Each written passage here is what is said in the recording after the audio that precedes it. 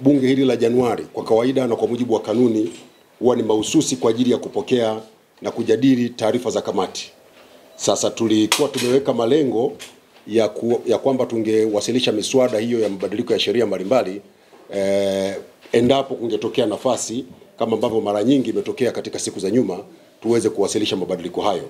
Na moja ya mabadiliko ambayo eh, tulitarajia mswada wake uwasilishwe katika mkutano huu wa kumi ilikuwa ni mswada wetu wa mabadiliko ya sheria ya huduma za habari namba kumi na mbili ya mwaka elfu mbili na kumi na sita. Kwa hiyo jambo letu tulikuwa tumepanga tuliwasilishe, lakini ndugu zangu eh, imetokea kwamba ratiba ya bunge imekuwa imebana sana, hakukupatikana nafasi, kwa hiyo tumeshindwa kuwasilisha eh, mswada wa mabadiliko ya sheria hii ya huduma za habari namba 12 ya mwaka 2016 eh, mpaka kwenye kikao kijacho. Tunatarajia kikao kijacho, tunatarajia mwezi April na kuendelea, na itaunganisha na lile bunge refu la budget.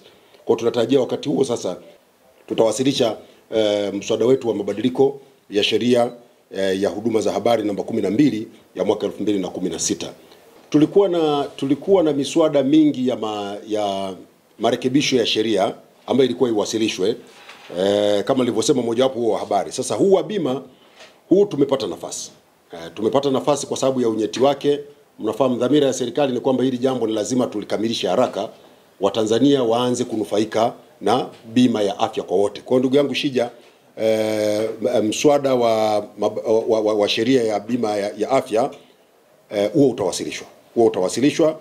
e, tuwaombee wabunge wetu waupitie, watoe mawazo yao na ushauri, vizingatiwe katika sheria yetu, kwa sababu serikali ya awamu ya sita inayoongozwa na Mheshimiwa Samia Suluhu Hassan ina dhamira ya dhati ya kuhakikisha kwamba kwenye swala hili la bima ya afya kwa wote linakamilika haraka. Unajua hapa ni eneo ambalo Watanzania wengi wanapata shida ya matibabu, na sisi serikali tusingependa kulichelewesha jambo hili.